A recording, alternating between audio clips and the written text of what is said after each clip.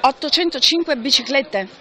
Sì, il, questo è il più grande parcheggio per biciclette che abbiamo in città e probabilmente mi dicono a livello nazionale e sarà un parcheggio custodito il, che va a sostituire quello precedente perché abbiamo necessità di ridisegnare complessivamente la piazza della stazione e quindi di ehm, dire, trovare lo spazio anche per poter gestire tutto il trasporto extra, urbano ed extraurbano. Le biciclette hanno una loro straordinaria dignità, sono essenziali per l'economia della mobilità mobilità della nostra città e quindi e hanno bisogno, se vogliamo che venga incentivato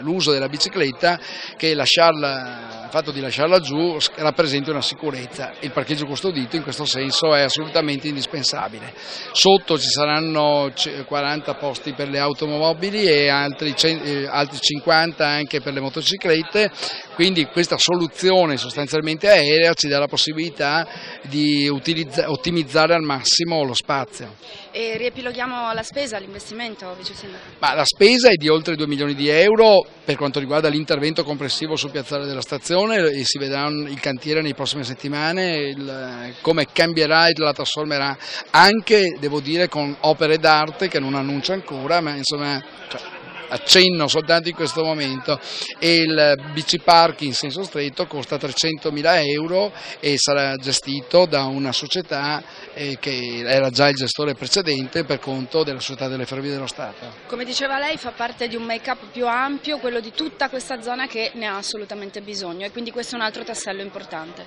Non c'è ombra di dubbio, questa è una zona che sta trasformandosi e cambiando letteralmente pelle. Il, ehm, qua dietro di noi dovrebbe sorgere la questura, ci saranno interventi anche urbanistici importanti da parte delle ferrovie dello Stato, esattamente in corrispondenza qua dietro l'attestamento sul primo binario sarà il binario di testa dell'SFMR, quindi il trasporto ferroviario regionale, abbiamo qua davanti il trasporto extraurbano, ma se penso alla nostra sinistra, adesso lo si vede per chi,